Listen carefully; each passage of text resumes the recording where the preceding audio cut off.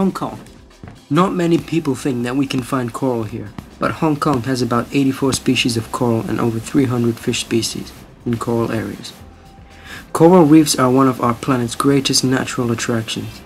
These gardens need regular monitoring and protection from the hazards of an urban environment.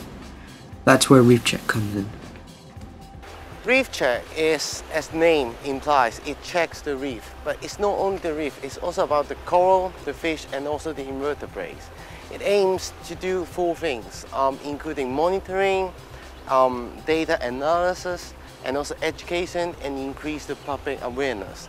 For example, we collect the data on the fish and on the abundance and species diversity of the areas. And then we analyze the data and then biologically, we can understand the area by looking at some indicator species to tell you about the general idea, how's the health of the coral areas. And luckily, at the moment, we have more than 80 countries globally in the world are doing the reef check. So by collecting all the data together, we can compare data between areas and we can understand more about the coral areas. Are they really good? Are they healthy or not?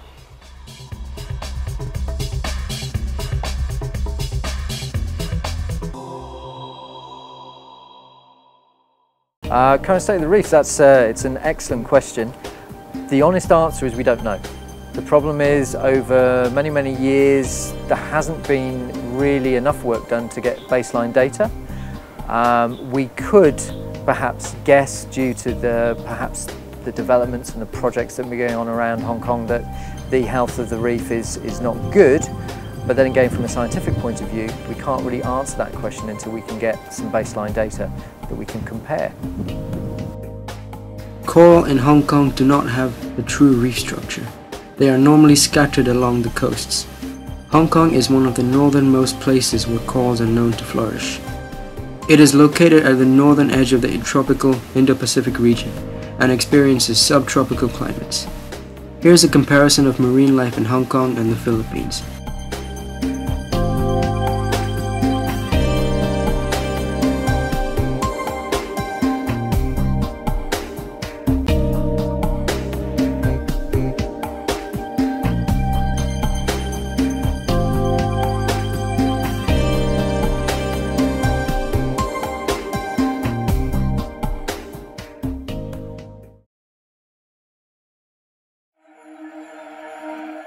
Some species of coral can grow only 1 centimeter per year, and you can destroy it within a few seconds by disturbing it.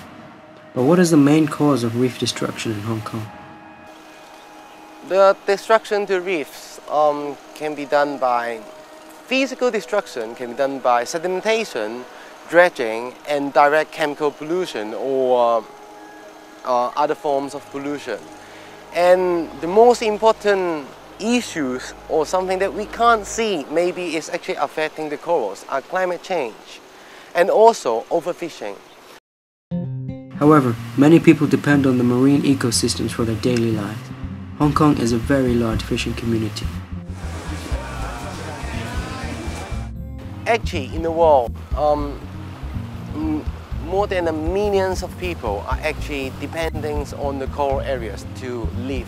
For example, all the protein sources is the fish are actually caught from the coral areas. So they are actually live depending, their life is actually depending upon or entirely on the coral areas.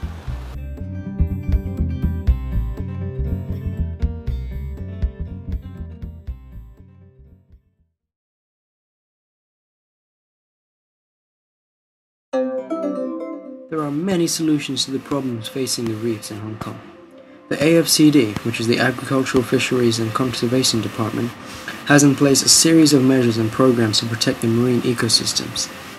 There are about five marine parks and marine reserves in Hong Kong, and numerous no anchoring zones. But what can we do? For me personally, it's, it's awareness. Um, I think public awareness, I think lobbying, the government lobbying um, agencies, supporting agencies. And secondly, I think just in the way that we sort of live our lives, that we are trying to live a sustainable life, that we're not contributing to pollution or we're looking for areas where we might be, might be contributing to pollution. So the public can do, for example, for the non-diver, they can actually do things like um, following the seafood guide, WWF seafood guide, and then to buy the sustainable seafood and choose wisely on their seafood, on their seafood consumption, and also help to tackle the problem with overfishing.